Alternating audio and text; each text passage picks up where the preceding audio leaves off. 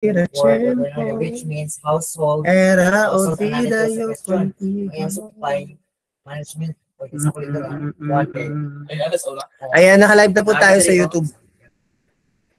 Oh, it's okay. Uh, move on na po tayo. Bakit kayo nahirapan sa ano, animal science? Siguro hindi kayo nakinig sa class ko. Siguro ang computation lang kayo nahirapan.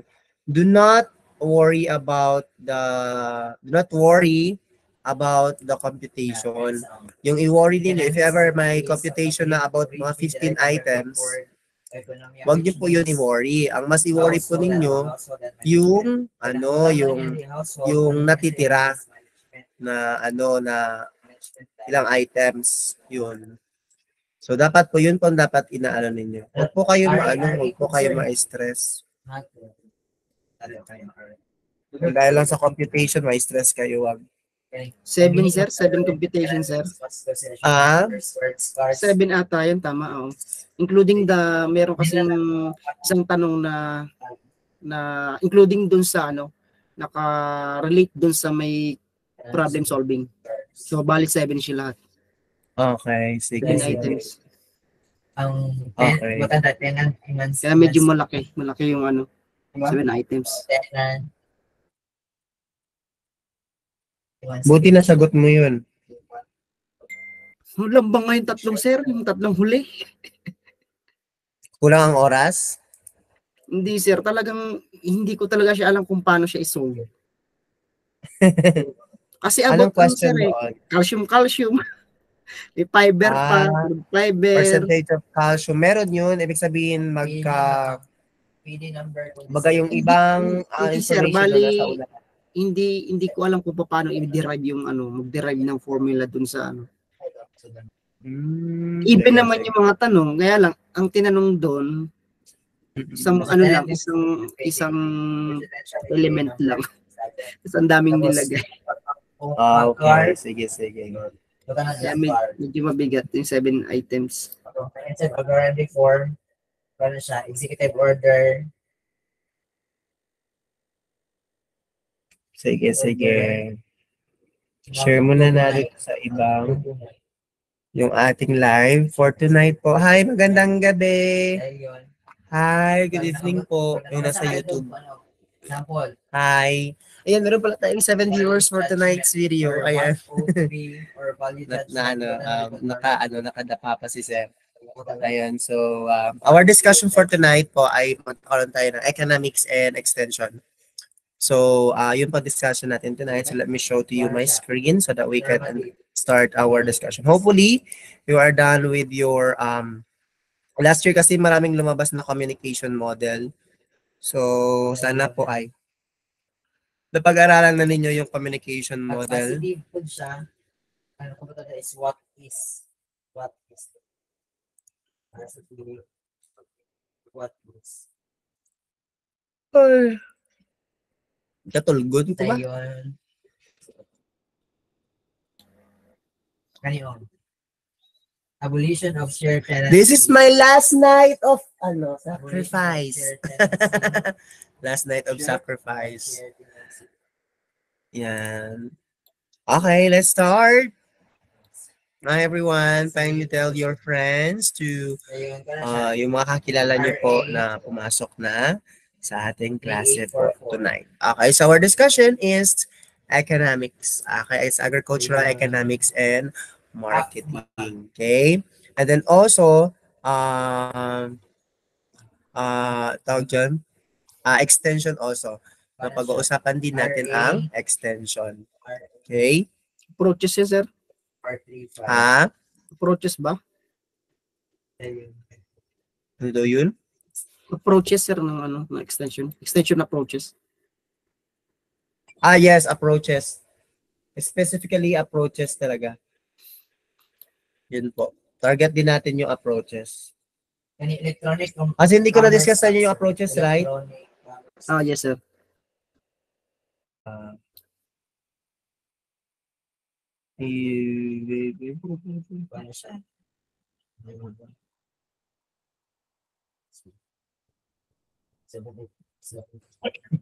Siguro ako na ba si, maka, ba si mapatay? Ako nga ano ba? Ah, Oo.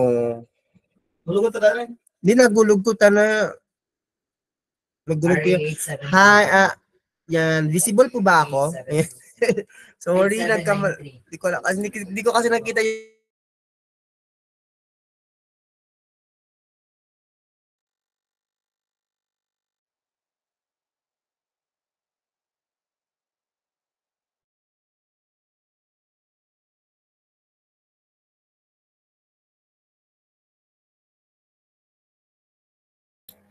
Dula ka man, sir. Unsa?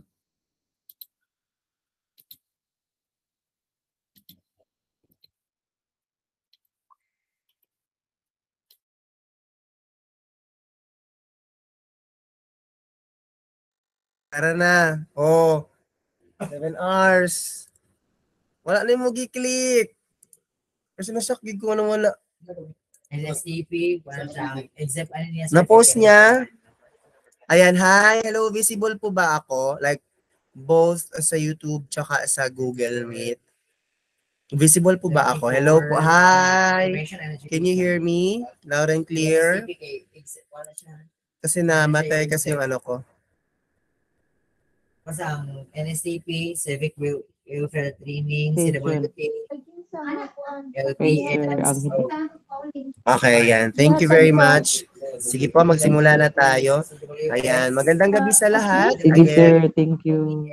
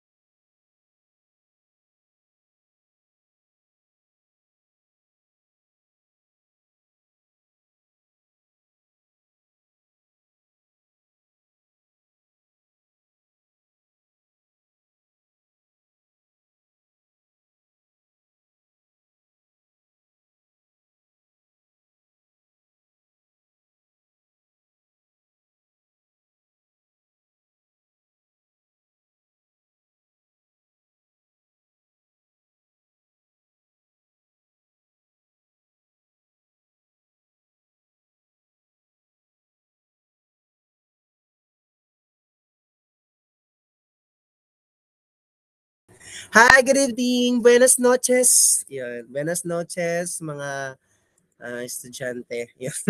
Sabi mga estudyante.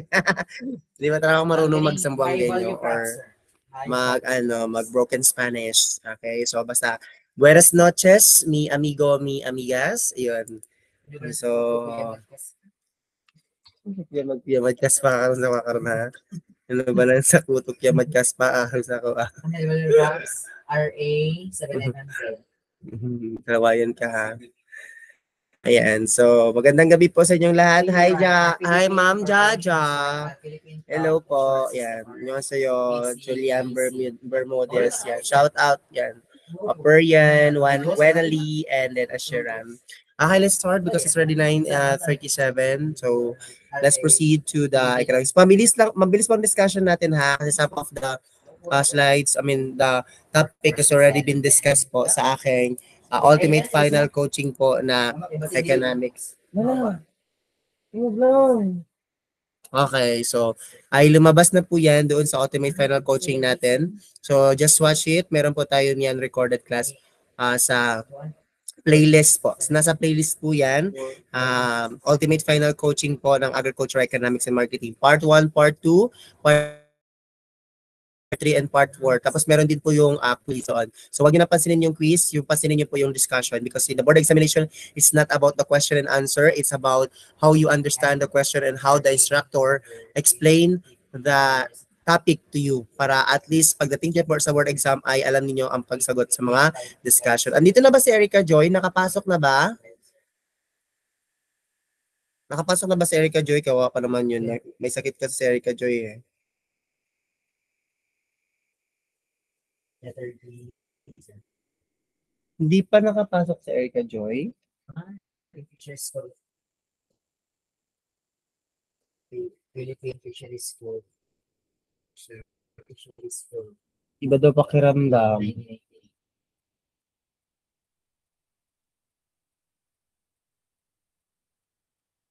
Dahil yung Sino pa hindi nakapasok? Si Ma'am Jov, andito ba? Hala. Bakit yun sila? Natutulog na? Oh, sige lang, bukas. Pwede pa naman panoorin bukas umaga. You can access the video on YouTube po bukas ng umaga, ha? So, doon na lang po ninyo, um, doon na lang po ninyo i, ano, panoorin. Okay? So let's start with the economics. Okay, so let's start with the full employment. Okay, pag sinabing these are the uh, terminologies that you need to know in the economics kasi po um isa sa mga dito ay lalabas sa board exam. So um hindi ko naman sinasabi na lalabas 100% no. Pero this one is somehow mga basics na ano terminologies na kailangan alamin. Okay, when you talk about full employment, it means that uh, all available resources should be employed kasi nga full employment the uh, okay so and then or fully utilized no the, um and the resources should be used or be employed or fully utilized or no worker should be involuntarily out of work. So wala pong at uh, workers na nagiging uh, voluntarily involuntarily out of work. So dapat po ay lahat ay employed pag full employment po. And then when you talk about equity, no, when you talk about equity, it is the equitable distribution or equal distribution of wealth and income. If from the word itself, equity or uh, pantay-pantay, okay, consistent. And then um, equal distribution, ayon. And then we have efficiency. Pag sinabing efficiency, it is producing any given level of output at minimum opportunity cost, minimum opportunity cost of the inputs used in the production. Efficiency whatever the resources available, you can still make an output output through um through uh output uh, I mean output by the use of sorry uh, by the use of um limited resources no? You are being efficient to the resources that you have. Okay so that is efficiency okay? So kaya nga pag pinag-usap pag ano pag tinanong kayo sa board ano sa sa interview um if you if you are going to choose uh what what you are uh I mean what are you effective or what are you effective or efficient? So you should be efficient. Kasi pag once efficient ka no kahit ano yung mga available na resources na meron ka you can still make an output out of it. Yon pag effective ka effective ka lang pag may boss ganon. Iba din po yon ibang usapan din yun. Walang integrity yun pag ganon. And then next you have letter D economic growth ano nga bang economic growth? When you talk about economic growth, merong expansion of production. No? Tulad sa uh, Korea, they have expansion of production and then constantly increasing output or national income, reduction in poverty incidence, and increase in employment. So ganun din po. Dahil sa, sa America, sa, sa Korea po, sa Korea, um, meron sila expansion of production sa mga manufacturing at sa iba pang industry. Tapos po, um, increase in employment sila. Kaya naghanap sila ng, kaya nagmatanggap sila ng mga trabahante or workers from the different countries. So that is economic growth. When you talk about growth, it is it, it talks about the increase and expansion. Okay? And then then we have letter E, economic freedom. Okay? When you talk about economic freedom, it includes our freedom to choose. Okay? From the word uh, freedom, we have the ability to choose kung ano yung gusto nating gawin o ano yung gusto nating piliin. Okay? What to produce or consume, uh, employment, so etc. To the freedom, the freedom to do economic activities within the legal framework of the economy. So that is freedom or economic freedom. Pag sinabi natin price stability, it means that there's an absence of inflation. What is inflation? It is the uh, successive increase in price in general price level. So when you talk of price stability, dapat absence yung inflation doon. Okay? And then, nagkakaroon, and wide fluctuation in prices. Ano yung wide fluctuation in prices? Ibig sabihin, hindi dapat mahal yung mga ah, mga bilihin, no? Waga kaya lang sa kakaya sa ka, sa bulsa ng mga consumer. So that is price stability. And then may fluc- fluctuations or pagbaba ng mga prices, no? Pwede din 'yun. And then we have economic development. What do you mean by economic development? Improvement, ay so improvements or improvement in the quality of life of the people. So magkaiba po yung ano, kasi sa board exam kasi may tinatanong regarding on the improvement uh, in the quality of life of people. Development po 'yun. Ibig sabihin yung yung life o yung trabaho or yung hanap buhay ng tao ay ah, may improvement or meron siyang or it is being upgraded ganun. So development po ang tawag doon. Ibig sabihin mer- from from from poor hanggang sa naging kaya niya nang mag-provide on its own on its own ganun. So ganun po 'yun. Magkaiba po si development at growth. Si growth, expansion, si development naman may changes sa hanap buhay or sa quality of life ng farmers or ng tao. Okay? Pag economic security naman, it talks about also the food security and insecurity. Pag economic security, assurance of the fulfillment of economic needs of every member of the society, including the handicap. So bakit tinatawag natin na um, bakit tinatawag natin na economic security? Okay? Pag sinabing economic security, it means that um, we are um, ay, dyan. So, wala talaga si AJ, baka natulog na yun. So pag ex- economic security, no? Um the we I mean, inuuna natin yung pangangailangan ng ekonomiya. 'Yon. So bago natin bago tayo mag mag-export ng mga 'di ba ng mga crops, inuuna muna natin yung mga pangangailangan ng ating ekonomiya. Okay? So that is what we call um economic security. By the way, hindi nag-chat sa akin si Stephanie. Nag-chat ba kayo, Jay?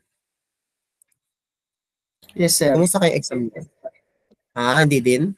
Goal, sir. Okay, sige lang. Chat ko lang yun. Baka umuwi pa. So, next we have theory of production. Okay, so theory of production, pag sinabing theory of production, it talks about the production. Production is a process that create or adds value or utility. It is the process in which the inputs are converted into outputs. Okay, so ito yung tinatawag natin na uh, point of production. Okay, theory of production or tinatawag nating point of production, meaning ginagawa or pinoprocess pa lang. So that is point of production. Iba din po yung ibig sabihin ng point of consumption. No? Always remember, pag sa point of production, point of production, ibig sabihin, processing po yun. Processing ng ah, mga raw materials, ganun. And then when you talk about also point of consumption, ibig sabihin po ng point, consum- point of consumption is that um, ito na yung tinatawag natin na point of sale. Okay, point of sale or um, yun, binebenta yung, ah, ah, sorry,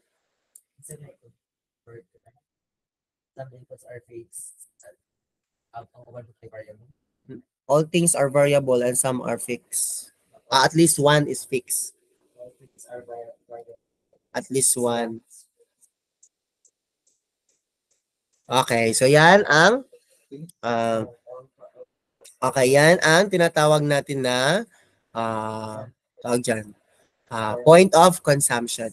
Okay, point of consumption is also known as point of sale. O, example, si farmers ay nagbebenta na. O, nagbebenta na si farmers ng kanyang uh, output or product, that is what we call point of consumption. Okay? Yan po ang tinatawag natin na point of consumption. Pag sinabing point of product, processing pa lang po yun ng mga inputs. Yun. Okay, so lagi po lang tatandaan. And then, you should know also the inputs. Uh, okay, remember, always remember that inputs is the factors of production. So, what are the factors of production niya ulit? Land, labor, capital, entrepreneurship, or management. So, na, na, nasa apat yon. That's the four inputs. Land, labor, capital, and entrepreneurship or management. Now, what is the payment of land? The payment of land is what we call rent. Okay? And then the payment of labor is wages or salary. And then, capital naman is interest ang payment. And then entrepreneurship naman or management is profit. So that is the payment assurance of, I mean, payment, yun, payment na sinasabi sa inputs of or factors of production. Okay, wag nyo kalimutan niya kasi lumalabas sa exam yan. Inputs are factors of productions. Okay? And then pag sinabi mong output, that is the final goods. Okay, which is the government is computing only through the final goods. Okay? So, yun po ang ibig sabihin ng outputs. Okay? Next is we have inputs versus uh, sorry, fixed inputs and versus variable inputs. Pag sinabing fixed inputs, magkaiba po sila sa variable inputs. From the word itself, variable, vary or changing. Okay? Vary or changing or changes. Okay? Change, ganon. Pag fixed naman, fixed talaga siya. It's fixed. It's not it's not even changing. Okay?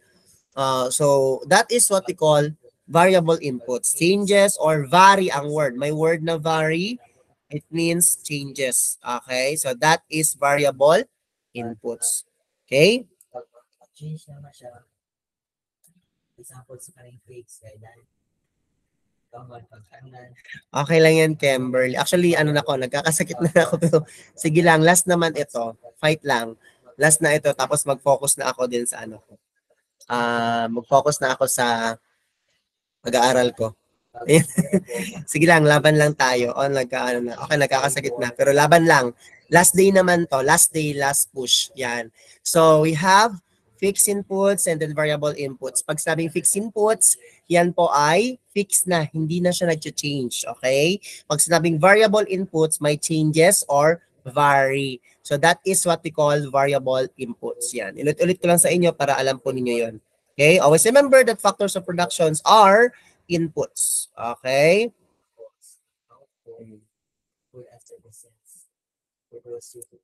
Good to know. Very good. So, ano yung pinagkakaiba ng fixed inputs and variable inputs? So, ang sabing fixed inputs remain the same in the short period. Yes, in the short period, in the very short period, that is very short period, ha?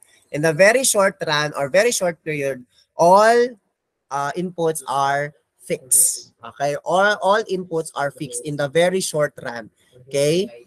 Pag sa variable, uh, uh, at least uh, also in the fixed inputs, also in the fixed inputs, eh, at any level of output, the amount is remain the same. Yes, any level, ang amount remain pa rin siya the same kasi nga fixed na siya.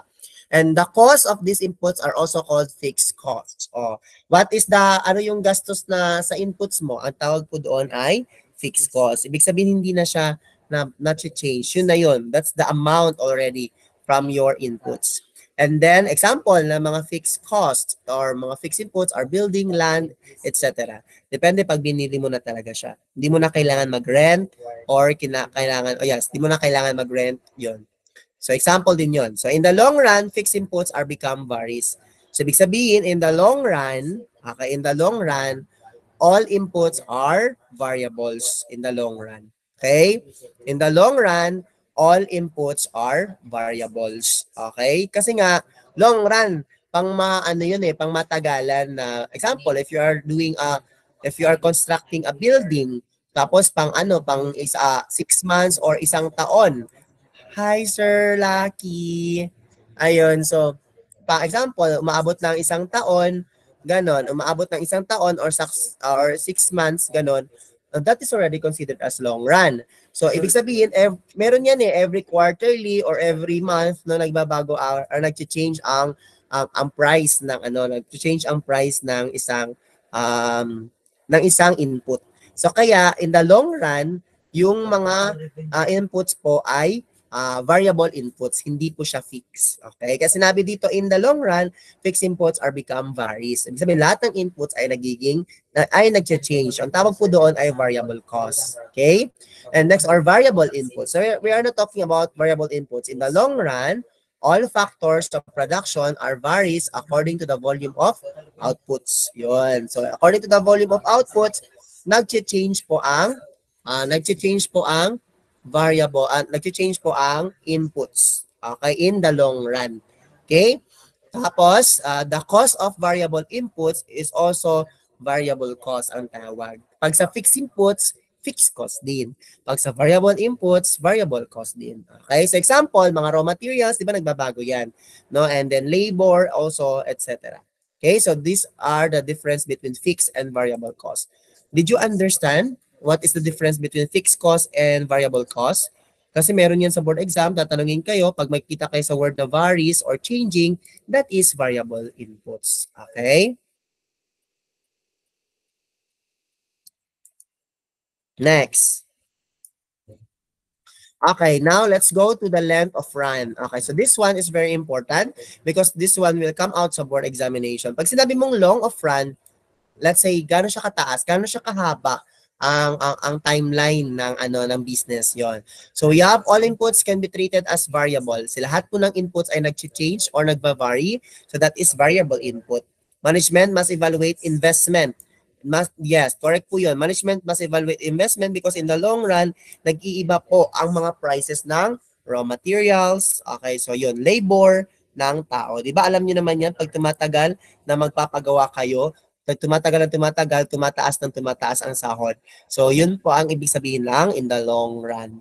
Okay? So, in the short run naman, no, uh, short run, some inputs treated as fixed and some are treated as variable. Ibig sabihin, um, um, let's say sabihin na lang natin na 50-50 siya. Ganon.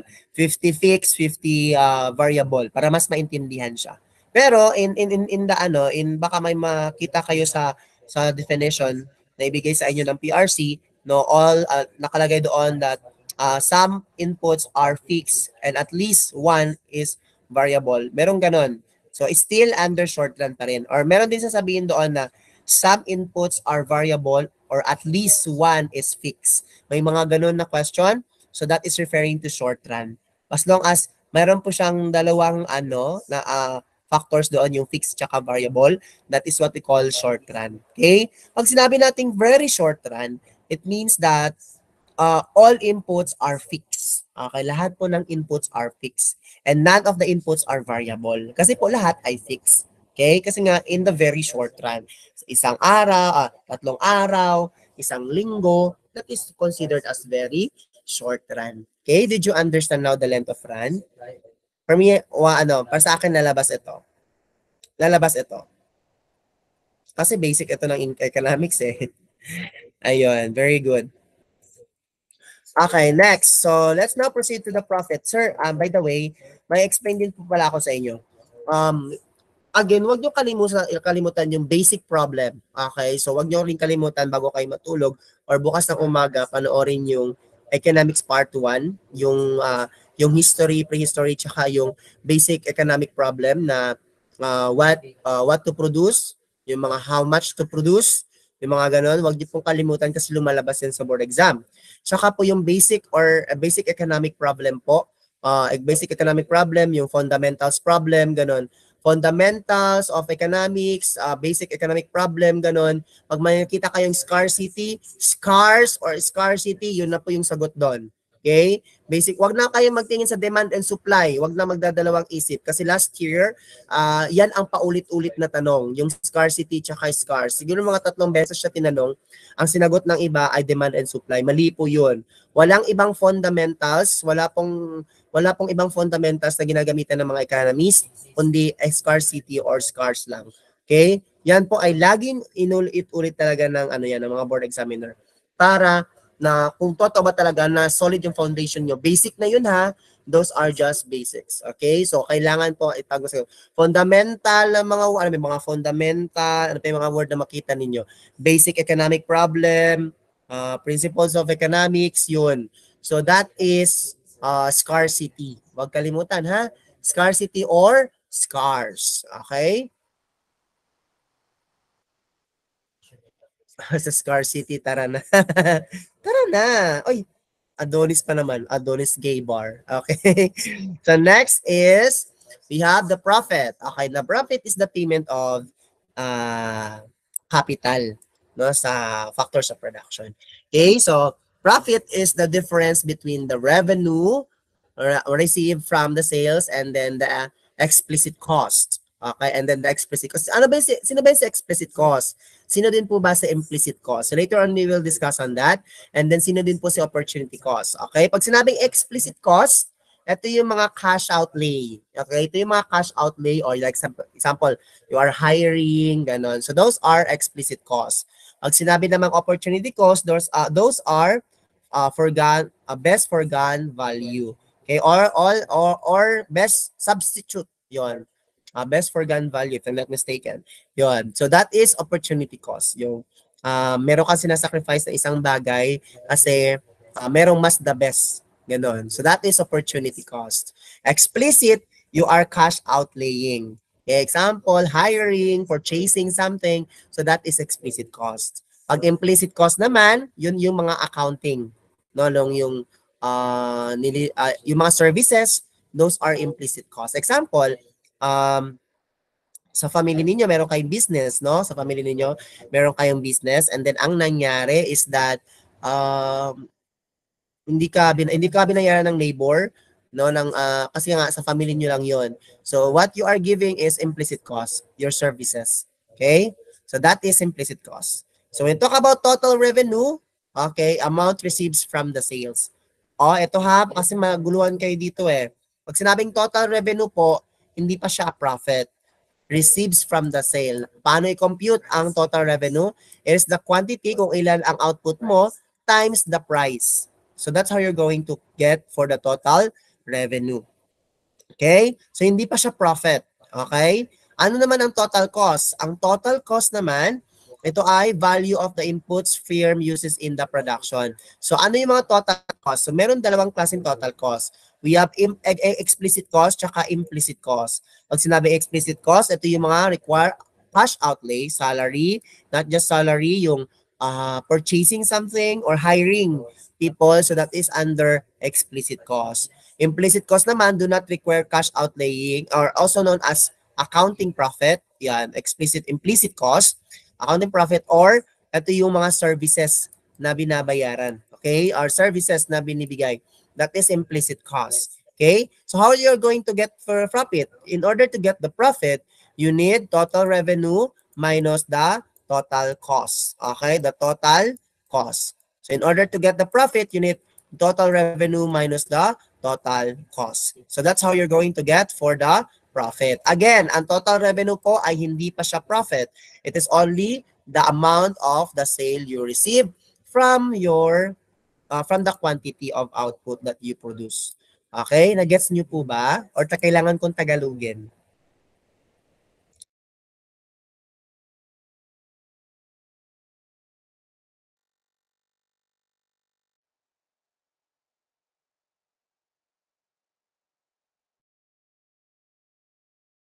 Sir, itagalog na lang, sir.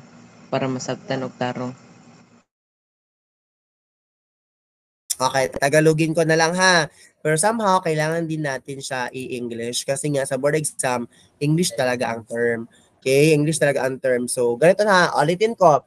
Yung total revenue po, okay, yung total revenue, hindi pa yan talaga yung profit or yung, yung income mo. Hindi pa talaga yan yung income mo.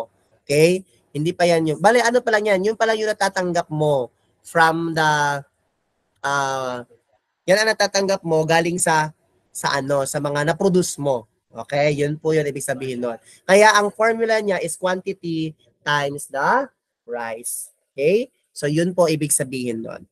And then, pag sinabing total cost, yung yung ano, yung total na ano, yung total na nagastos mo. So, pwede explicit cost or implicit cost. Para hindi kayo maguluhan kung ano ibig sabihin ng explicit cost or implicit cost, from the word itself, explicit, X, external, ganon, X, external, okay? X or external, ibig sabihin sa labas.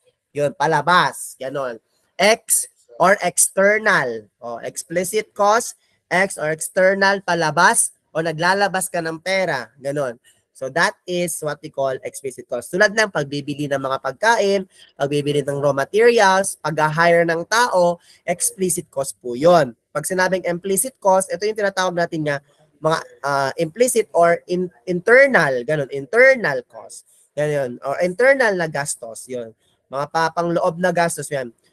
Ito yung mga hindi nagre-require ng mga cash outlay. Ano to? Yung mga ang, ang, ta- ang ibang term po nito is accounting profit. Accounting profit or accounting cost ang ta- ibig sabihin po nito. Ibig sabihin nililista mo or nililiquidate mo siya. Example, yung mga services. Yon. Services are example of implicit cost. Okay? So yun po ang ibig sabihin no. So yun, para makuha natin yung profit, kailangan natin i minus si total revenue minus the total cost. Ibig sabihin, yung total revenue, yung sale mo from the quantity na, na nabenta mo minus yung total na cost or total na nagastos mo. Uh, which is included yung explicit cost tsaka implicit cost. Okay? Did you get it?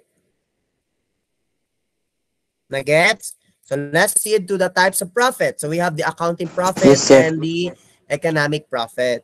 Pag sinabi nating accounting profit, ito yung total revenue minus total explicit cost. Yun, accounting profit, uh, ini-ignore niya din yung implicit cost. Kanina, di ba sinabi ko sa implicit cost, sir, di ba sinabi mo na pwede din siya makonsider na yung implicit cost na accounting profit? Yes. In what way siya pwedeng makonsider in liquidating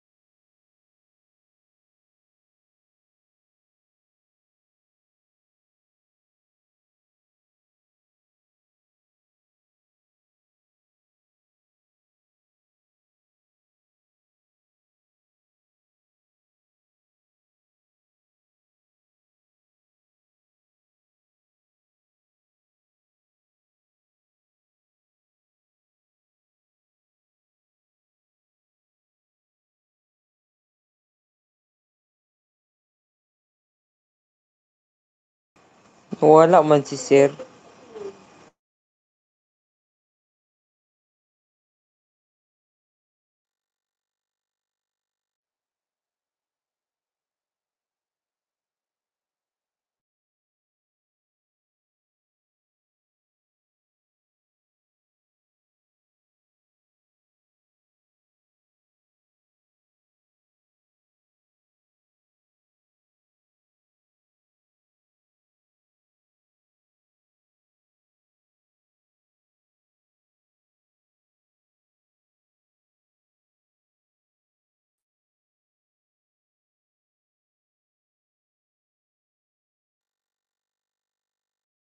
Nawala ako, sorry. Nawala yung ano, nawala yung... Nawala yung wifi. Sorry po, biglang nag-out out yung ano connection. So, continue na tayo. Saan na ba tayo? Nawala, magkagalit, sir. Oh, nawala yung wifi po. Nawala yung wifi. Okay. So, okay. So, next, di ba sinabi ni Sir kanina na, yan. Okay, presented. Okay, very good. So, di ba sinabi kanina ni Sir na ang ang ang, ang types ang accounting profit ay pwede sabihin din na implicit costs. Okay? So oh, okay, tama naman po 'yon, but that's actually in the managerial economics. So sinabi ko lang what if lumabas siya sa exam? Okay, it can also be used. Pero uh, since basic lang naman yung hanapin natin dito, ito na lang talaga yung focus na lang natin. Okay? So accounting profit po um ini-ignore niya yung implicit cost. In what sir? In, in what sense? Because uh, the computation for accounting profit, we have the total revenue minus the total explicit cost. Okay? Total revenue and then minus the total explicit cost. Okay? Tapos ini-ignore niya yung implicit cost and then higher than economic profit. So that is the accounting profit. Okay? Ini-ignore niya si implicit cost. Pero in managerial economics, walang ignore, walang ignore ng implicit cost. Sige lang, it's okay. Para ano lang, para may idea lang kayo kung ano yung accounting profit. So, accounting profit, no, that is total revenue minus total explicit cost. And then, ini-ignore niya si implicit cost. And then, economic profit naman, dito na ini-include si um, uh, implicit and explicit cost. Ito yung tinatawag natin na economic profit. The total revenue minus the total cost. It is equals to economic profit or profit. So that is included na sa explicit tsaka si implicit cost. Okay, did you get it? Uy, yung mga nasa YouTube ngayon, hello po. Sorry, nag bigla pong nawala yung ano natin, nawala yung uh, connection natin. Hopefully, you can still ano pa. Hindi pa ako naka-record because this one is directly recorded in ano YouTube. Hi, can you still ano pa? Ah. Ako lang GDP lang, siya sa Sir, no? Within the boundary of the categories and domestic product. Okay, next is we have price and output determination in a perfectly competitive market. So bakit ito sinasabi ni Sir? Kasi uh, bakit ko discuss dito? Alam, alam ko naman talaga lalabas ito eh. Si perfectly competitive market. Lalabas yan. Kasi that is under basic economics. Okay? Sino ba si perfectly competitive market? Si competitive, uh, perfectly competitive market, ito yung economic model with the following features. Ano yung mga, ito yung mga economic model na meron silang numerous buyers and sellers, okay, that do not affect price. Meaning, pag sinabing do not affect price, they are price taker.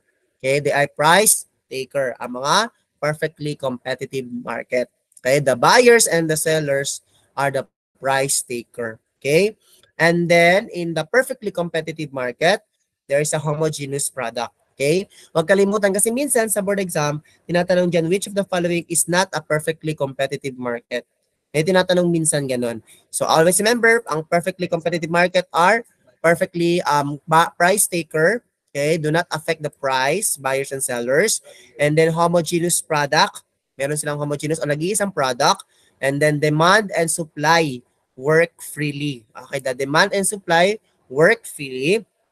And then goods and services freely enter and exit the market. Okay, so the goods and the services ay labas-masok sa market. And it has perfect information. So that is perfectly competitive market. Homogeneous product, nag-iisang product, isang product lang sa market. Tapos there are also price takers. Okay? Yes, ma'am, ano, Camacho. Yes po, there, uh, yung PPT ko isasend ko sa inyo after the class. Or bukas pwede nyo pang basa-basahin. And then we have price and output determination in a perfectly competitive market. Pag sinabing perfectly competitive market po, all goods exactly the same. Kaya nga homogeneous siya. Pag sinabing homogeneous, homogeneous, all the goods exactly the same. This is homogeneous product. Okay? And at the same time, all price are one. Buyers or sellers, so numbers that no one can affect the market price and each is a price taker. Okay, they are price taker. Okay? Always a note that assume markets are perfectly competitive. Okay, assume that per, the, the the market is compet perfectly competitive. By the way, what is the definition of market?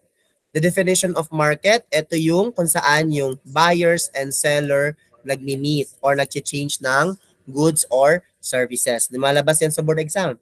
Ano ibig si ano definition ng ah, buyers and sellers? Anong market? Sorry, ang buyer, ang ang market po ay ito yung kung saan nagmi-meet si buyers and sellers. Yon, nagmi-meet si buyers and sellers to exchange product. Okay, so that is market. Okay, yan po ay market. Huwag kalimutan, ha? Next is isoquant and isocos. Alam ko some of you do not understand the definition of isoquant and isocos. Okay, pag sinabing isoquant, shows all combination of factors that produce a certain output. Basahin muna natin yung dalawa, anong pinagkaiba nila para meron tayong differences. Tapos sabi naman isocos, isocos show all combination of factors that cause the same amount. Okay, so isoquant from the word itself, isoquant shows all combination of factors. Lahat ng combination of factors that produce. The word is produce, produce, produce a certain output. So nagpo-produce ng certain output out of the combination of factors. What are the input of factors? So factors of production. No? Out of that input, they can produce a certain output. That is isoquant. Okay? Now, we have isocos. Ano naman yung isocos? Ito yung show all combination of factors that cause, cause, cause from the word itself, cause here, that is isocos, cause the same amount. Yon, cause that cause the same amount. Ibig sabihin, the combination of factors and the cause the same amount. Meaning, the factors, the input, and then the cause should be equal.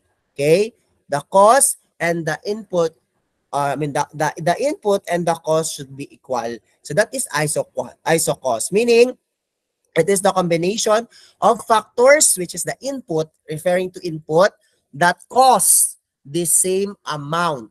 Okay? That cause the same amount of what that's not the same amount re- referring to the same amount of the output okay so that is isocos from the word itself cost referring to gastos of same amount of the combination of factors of input yon hindi pa pwedeng mas malaki pa yung input na gastos mo sa input kesa sa ano sa output hindi po pwedeng ganun okay dapat wala pong rev, wala pong ano, walang walang profit pa ganun. So dapat ang gawin ninyo is that mataas pa yung revenue kung ikumpara natin sa ah, mataas yung revenue kung ikumpara sa inputs, no? 'Yun po ang ibig sabihin ng ISO cost. Okay? And next you have isoquant curve. Ano ibig sabihin ng isoquant curve?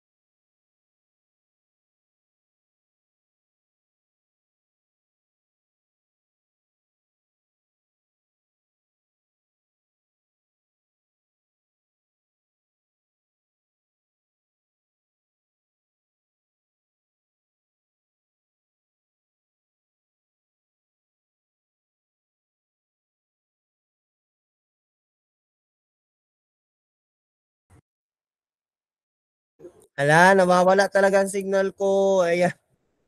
Hindi ko Ah, Alright, sige, sige lang. Laban pa rin tayo. What? Okay, bibigay ko na lang yung slides. Yun, bibigay ko na lang yung slides sa ano ha, ah, sa inyo. In case na mawalan ako ng signal. Ayun, um, sir. okay. Wait lang, wait lang, wait lang. Kalma lang. Okay. Ayan, nawawala po tayo ng signal talaga. Asa mas maganda, Jay, ibibigay ko na lang agad yung slide sa inyo. Pag mawala tayo, mamaya hindi na ako makapasok niyan. Kasi nag-warning na siya. Oo, nag-warning na talaga siya. Isend ko na lang ha. Kasi na pag nag-warning na siya, it means, oh my God. Kaya nyo yan. Kaya nyo po yan. Ano lang, basahin nyo lang po yung slides ko. Um, um, ano ba sabihin ko dyan? Basahin lang yung slides ko na na prepare ko na piniprayer uh, na ano na prepare ko para ano para pwede niyo pong ano. Basahin lang talaga ang slides. Ayun. Kasi magkaiba yan. You you take note on the ano on the word matters talaga. Nag- nagma-matter kasi yan from word to word okay example ito si isoquan curve ayan naglo-loading na so yan nag-upload na siya So, an isocan curve is related to the producer. Always remember that, ha? Sa isocan curve ay uh, always related to the producer. Okay? Si indifference curve naman is always related to consumer's choice. Okay? Huwag kalimutan yan. Always related to consumer's choice. And then, si isoquant, okay, dito pa rin kay indifference curve, tsaka si isoquant, si isoquant po show the firm's production function. Okay, sino ang nag-show? Si isoquant po. Si isoquant ang nag-show ng firm's production function, whereas indifference curve po shows the consumer's utility function. Okay, consumer's utility function. Okay? And then we have the microeconomics. Okay, so microeconomics. Okay, so let's now proceed to microeconomics. We know that uh, microeconomics is referring to the study of households and firms make decisions. So pag individual, that is microeconomics. From pag as a whole, that is macroeconomics pag as a whole. Okay? Uh, talking about what are is in the whole. Taxation, yon. Ano pa? Uh, tariff, no, under po yan sa macroeconomics. Okay? And then GNP, GDP, yon. Pag theory of production is the process of transforming both fixed and variable inputs into finished goods and services. Okay? So yan po ang ibig sabihin ng theory of production. Pag production function naman, technical relationship sila. Magkaiba po ha. Pag theory of production, process of transforming. Pero pag production function, technical relationship. Technical relationship between the quantity of inputs used to produce and then the good and the quantity of output of that good. So that is production function. Okay? And then, pag sinabing firm, it is um, concerned with the employment of resources in the production of goods or services. O, pag, minsan sinasabi namin ang firm company, ganon. Company, firm. Uh, sadyang ad, parang advanced English o pag napakinggan pag firm. Ganon. So, firm. Okay? Pag firm, concerned siya with the employment of resources. Ano naman ang enterprise? Ito laging natanong sa akin eh. Enterprise, ano pinagkaiba daw ng enterprise? Ay pare po daw sa corporation? No.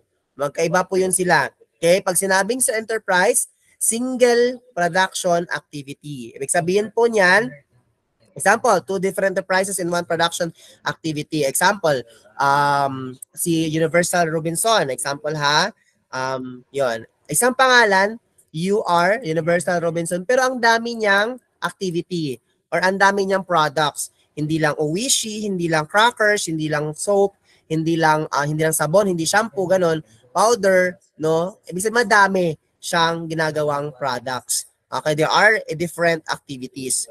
Pero isa lang ang kanyang single production lang siya. Okay, also enterprise is commonly known as sole propri- proprietorship. sole proprietorship. Yon, sole proprietorship. Ibig sabihin, um, some of the enterprise are um, single owner. Yon. Some of them are single owner. Kasi may nabasa ako sa book na some of the ano, some of the tawag dyan, uh, some of the enterprises are single owner. Yon, common yun, common. Common, pala common. Okay? So that is enterprise. Okay, magkaiba po sa corporation. Ang corporation po, madami silang owner. Um, ang tawag sa kanila ay mga shareholders. Okay, mga shareholders po ang tawag sa kanila. Yun po ay corporation. Ibig sabihin sa corporation po, one member, one vote. Yun po ang principles ng corporation. Okay, or ng, kasi cooperatives pala yun. Cooperatives, eh, even in the corporation, one member, one vote din po sila. Ganon. Parang may CEO lang sila. Ganon. Corporation yun. Corporation. Corporation. Ganon. So, iisa lang din po yun. May, may CEO lang sila. And then while enterprise, um, wala. It- It's, it's a single proprietorship. Okay? It's a sole proprietorship. Mag-isa lang pero madaming activity. That is what we call enterprise. Okay? Next, we have, okay, so this one, theory of consumer behavior. So we have the theory of consumer behavior. Yan, uploaded na po ang day 3 natin na ano na PPT nasa ano na po nasa sa rationale na po na folder. Okay, get it? Actually nasa nasa description lang 'yan. Okay, sa YouTube. Yan, sandali. Sasend ko na lang. Okay, sa YouTube isasend ko na lang para ma- makuha nila yung ano yung link. Okay? Sorry.